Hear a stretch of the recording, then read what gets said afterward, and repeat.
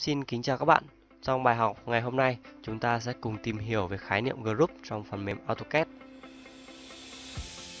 Trong AutoCAD, group cũng được hiểu là những cái nhóm đối tượng được liên kết với nhau. Tuy nhiên, group nó không giống với block. Vì block nó có tính chất là khi chúng ta thay đổi một đối tượng thì tất cả các đối tượng khác nó sẽ thay đổi. Thì group nó không như vậy. Thì mình sẽ minh họa như sau. Giả sử mình tạo ra một nhóm đối tượng như thế này chẳng hạn. Đấy. Thì bây giờ mình sẽ tạo cho nó một cái group. Thì mình sẽ gõ lệnh gr đấy, các bạn thấy lệnh group đây. Sau đấy này, các bạn có thể lựa chọn các đối tượng mà các bạn mong muốn hoặc các bạn vào trong mục hộp thoại common line. Các bạn có thể chọn này, name để đặt tên hoặc description để đặt cho nó cái thông tin. Ví dụ mình chọn name. Đấy, thì mình sẽ gõ cho nó cái tên, ví dụ là tên group 1 chẳng hạn đấy. Group. Sau đấy này các bạn sẽ lựa chọn các đối tượng mà các bạn muốn biến nó thành group. Đó. đấy mình có thể là lựa chọn xong các bạn có thể tiếp này điền cho nó cái thông tin ví dụ là nhóm group. Đấy. Đấy, các bạn enter. Đấy thì cái group của chúng ta nó được tạo ra. Đấy thì từ hai đối tượng riêng lẻ nó đã được nhóm thành một cái group.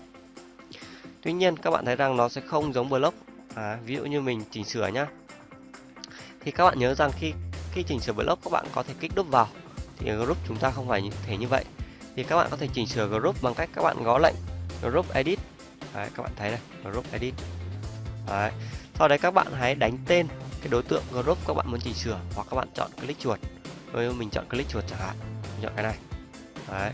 Sau đấy các bạn có thể này là à, rename cho nó đấy, các bạn để cho nó tên mới là à, hai chẳng. Đấy, các bạn enter này. Đấy, thì các bạn thấy này đây là group chúng ta đã được đổi tên. Và các bạn có thể gõ lệnh này, group edit này. Đấy, các bạn kích này. Đấy, các bạn có thể chọn này ví dụ là remove object. Thì các bạn có thể là bỏ cái đối tượng mà các bạn không mong muốn. Nếu đối tượng đối tượng này mình loại ra khỏi group mình chọn xong mình có thể enter này thì bạn thấy là bây giờ group chúng ta nó chỉ còn một cái đối tượng nó thôi. Đấy các bạn thấy này group dưới này thì nó vẫn nguyên hai đối tượng. Đấy thì đấy nó khác nhau giữa group và block. Ngoài ra các bạn có thể chỉnh sửa group một cách nữa đó là à, các bạn có thể chọn group này. Và các bạn chọn này add object này. Là các bạn có thể thêm các đối tượng khác. Đấy, thậm chí chọn group trong group và các bạn enter cho mình. Đấy bạn thấy chưa? Bây giờ này group này đã được thêm rất nhiều đối tượng khác. Đấy thì group nó cũng được thường xuyên sử dụng trong AutoCAD. Tuy nhiên, nó thường chỉ được là nhóm các đối tượng mà thôi và nó không được phổ biến bằng block. Đấy.